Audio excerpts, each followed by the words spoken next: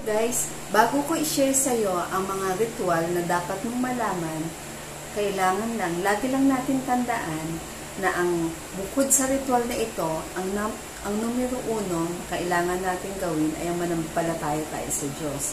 Siyempre, hindi natin kailangan tanggalin ang pananampalataya sa Panginoon. Lagi tayong magdasal, humingi ng gabay sa Kanya.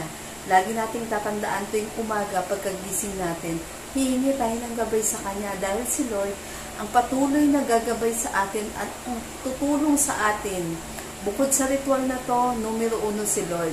Siya ang tutulong sa atin, magbibigay sa atin ng patnubay. Lagi nating hihilingin yun everyday. Lagi nating ipagdadasal sa Panginoon na ilid tayo, hilingin natin siya ang siya ang gumabay, pumasok sa ating puso't isipan at gabayan ang mga taong mga makakasalumuhan natin, gabayan ang ating mga kilos at gawa, ang ating pananalita at linisin ang ating puso. At hilingin sa Kanya lahat-lahat ng iyong mga wishes. Pero pag nanghiling ka, syempre, lagi natin ikiklaim na ito ay igagrant ni Lord. Yun ang numero uno, ang pananampalataya kay Lord pangalawa lang ang ritual, at syempre, hindi naman mangyayari ang lahat ng ito, ng mga wishes natin hindi matutupad, kung hindi rin naman tayo kikilos. Kailangan rin nating kumilos. Kailangan nating magsipag, kailangan nating magbunot ng ating, magbanat ng ating mga buto para mag-grant lahat ng ating mga wishes. At the end of the day, ito ay mag-grant. Kumbaga, hindi uukol kung hindi bukol hindi bubukol kung hindi uukol.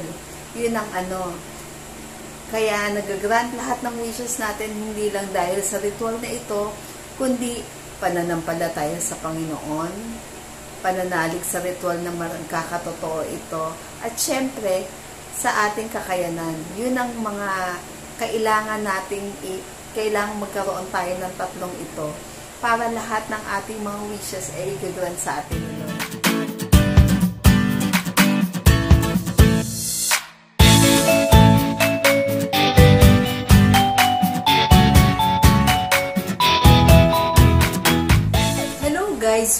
Welcome to my channel. Ikaw ba ay mahilig sa mga pampaswerte na katulad ko? Nice mo bang salubungin ang year 2020 ng masagana?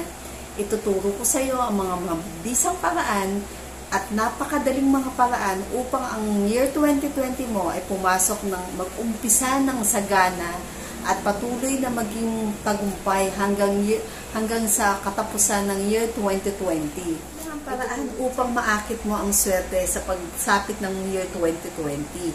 Ang unang-una mong dapat gawin, panatilihing malinis ang iyong bahay. Yes, yun lang ang simpleng paraan, panatilihing malinis ang iyong tahanan.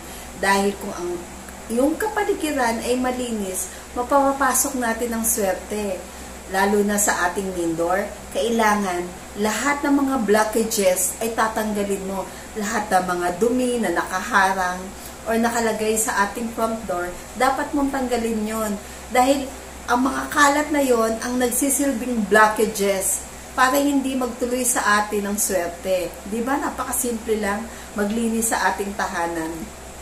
Linisin natin ang main door. Tanggalin ang mga chinelas. Di ba? Usually pag pumapasok tayo, ang mga chinelas, ang mga basahan, kung ano-ano pang mga nakalagay sa mga front door natin. Tanggalin natin yon Tanggalin rin natin ang mga lumang kasangkapan na hindi na natin ginagamit, lalo na mga sirana. Tanggalin na natin dahil ang mga yung mga bagay na yon ay nag-aakit ng mga negative energy sa bahay natin. Para mapapasok natin ang positive energy, tanggalin natin ang mga kalat ang mga lumang mga damit na hindi na natin ginagamit, pwede na natin ipamigay. Pero bago natin to ipamigay, meron ding ritual. Ituturo ko rin sa iyo kung paano paano natin ibibigay ang mga lumang mga kasangkapan na hindi na natin ginagamit. Okay. Ang pangalawang ang pangalawang way na ituturo ko sa iyo para mapapasok natin ang swerte. Paano ka ba magwalis? Ikaw ba ang usual na mga katulad, uh, mga kakilala ko na nagwawalis mula sa loob palabas? Hindi tama yon. Dapat, ang tamang pagwawalis, magmumula tayo sa front door, papasok ng ating tahanan, dahil para hindi natin natatapon ang mga ang swerte sa atin. Pagdating sa loob, saka natin idadaspan ang mga kalat.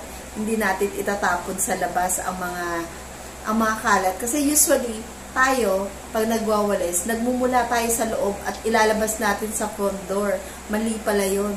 Ayon sa pusoy or sa pag-aaral, dapat pagwawalis tayo, mula sa front door, papasok.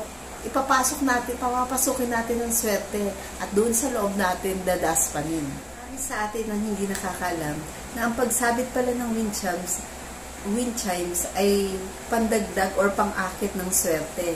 Yes, you heard it right ang pag ang bawat tunog ng wind chimes sa ating pintuan ay nagdaakit ng swerte.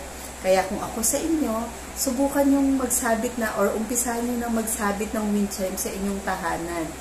Huwag mong kalimutang i-like at i-subscribe ang aking channel. Dahil para sa mga susunod kong video na ilo-load, uh, manonotify ka agad-agad. See you sa mga susunod kong vlog.